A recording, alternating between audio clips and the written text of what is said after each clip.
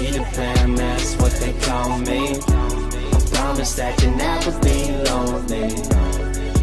That's what they call me.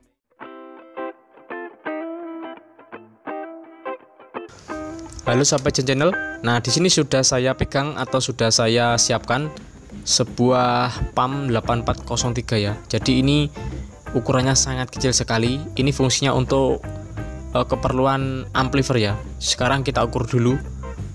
Nah, di sini kita ukur dulu untuk panjangnya. Panjangnya ini sekitar 2,5 cm ya. Atau sekitar uh, 25 mm ya untuk panjangnya.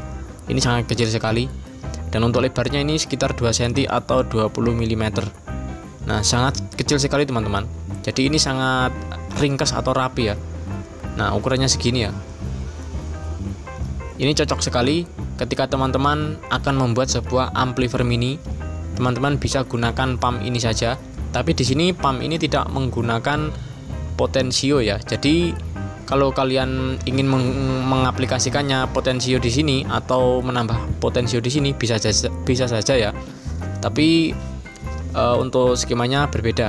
Nah sekarang di sini saya akan mereview pump ini ya. Jadi teman-teman jangan skip videonya supaya paham dan untuk teman-teman yang belum subscribe silahkan di subscribe di komen di like dan di share supaya tidak ketinggalan video berikutnya dari channel ini nah sekarang akan eh, saya review dulu ya untuk pump ini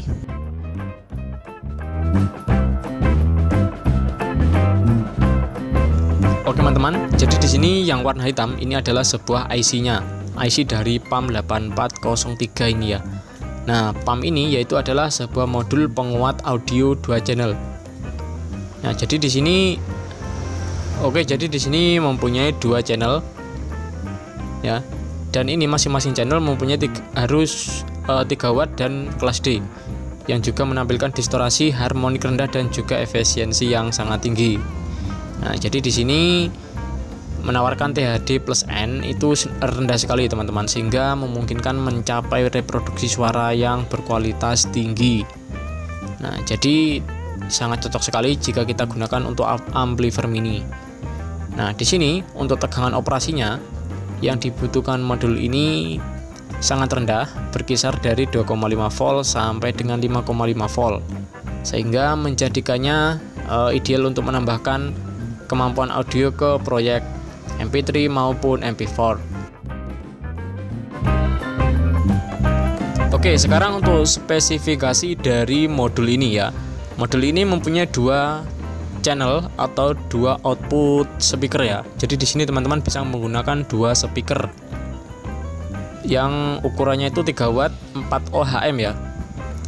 Jadi jangan melebihi itu ya teman-teman ya. Ini untuk output speakernya bisa menggunakan dua speaker. Nah sedangkan untuk tegangan inputnya di sini bisa menggunakan minimal 2,5 volt dan juga maksimal 5,5 volt. Nah dikarenakan supply-nya itu rendah sekali jadi teman-teman bisa menggunakan charger HP ya karena charger HP itu tegangan outputnya itu 5 volt. Nah sekarang untuk ukuran papannya itu tadi kecil sekali sudah kita ukur ya 2,5 kali 2 mm eh, 2 cm ya. Nah untuk efisiensi amplifier yang tinggi sekitar 85% eh, ya untuk efisiensinya nah jadi modul ini unik tanpa papan daya digital kelas fil uh, kelas D filter LC dan bisa menggunakan catu daya USB komputer secara langsung. Nah, jadi sangat simpel sekali ya teman-teman ya. Nah, untuk pengaplikasiannya di sini teman-teman bisa gunakan untuk sebuah amplifier bisa, amplifier mini ya terus untuk output speaker di monitor LCD maupun proyektor TV juga bisa.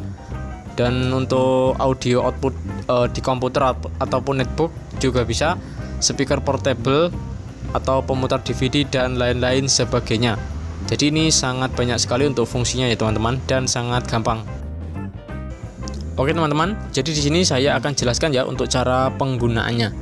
Teman-teman perhatikan di sini ada tulisan 5 volt ya ini ada tulisan 5 volt dan ada tulisan plus dan juga minus nah di sini ada dua lubang plus dan minus ini fungsinya untuk mensuplai sebuah input arus yang dibutuhkan pump ini ya.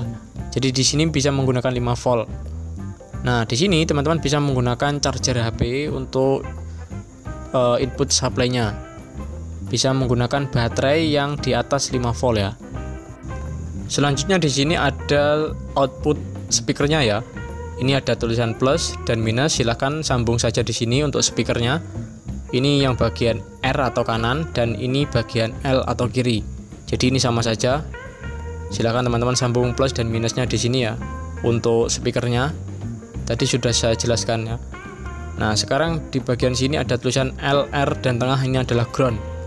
Nah, di sini ini fungsinya untuk input audionya input audionya itu dari sini ya teman-teman ini uh, bisa kalian gunakan jack audionya yang saya jelaskan di sini adalah rangkaian yang sederhana. Nah, jika teman-teman ingin menambahkan potensio stereo maupun mono, bisa saja ya, tapi caranya harus dirubah.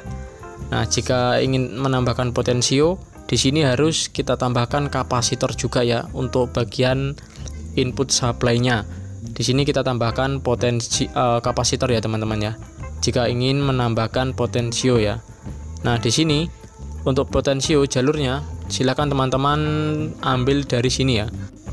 Nah, jadi pump ini bisa kita rangkai sederhana sekali dengan cara yang sederhana maupun eh, bisa kita rangkai dengan menambahkan potensio stereo maupun mono di pump ini ya. Jadi caranya berbeda-beda ya teman-teman. Jika ingin menambahkan potensio tadi sudah saya jelaskan ya. Karena di sini saya hanya mereview modul ini jadi di sini saya tidak mempraktekkan untuk pemasangan komponen speaker dan lain sebagainya. Nah jadi lain waktu akan saya buatkan tutorialnya eh, perakitan. Pump ini menggunakan potensio dan tidak menggunakan potensio jadi untuk teman-teman supaya tidak ketinggalan video yang akan mendatang silahkan subscribe channel ini. Nyalakan tanda loncengnya. Komen di bawah jika ingin ada yang ditanyakan. Uh, like dan share ya. Dan sekian dulu untuk review kali ini. Semoga teman-teman paham dan bermanfaat ya. Oke sekian dulu. Kita sambung di lain kesempatan. Sampai jumpa